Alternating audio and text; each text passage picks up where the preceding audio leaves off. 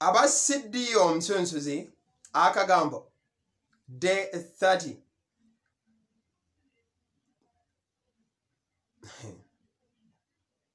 ennaku ezikyasinze okuba ez'omugaso mu bulamu ziri bbiri. Olunaku lwe wazaalibwa n'olwo olunaku lwokeera okumanya lwaki wazaalibwa. Obadde okimanyi nti abantu bangi ng'ali awo ddala nga kya mugaso nnyo nti yazaalibwa wabula nga tamanyi mugaso gwa lwaki yazaalibwa. Nga buvone gye budda wano ne wetutuuse ne wetudda nga tamanyi nsonga lwaki ali ku nsi. Olunaku lwokeera okumanya ensonga lwaki oli ku nsi.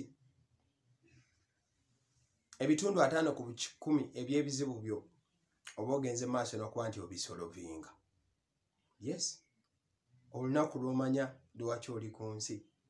Abantu abasinga tubeerawo nga tubungabunga. Odda wano odda wali. Kubanga tonnamanya. Omanyi baalugera nti ettuufu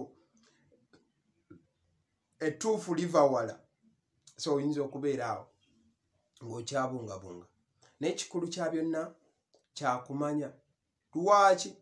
Okuzaalibwa kwo wazaalibwa kyali kya mugaso era kirungi oli ku nsi naye waategedde ensonga lwaki wazaalibwa? Noonyereza. Bw'oba wagimanya oli ku kituufu.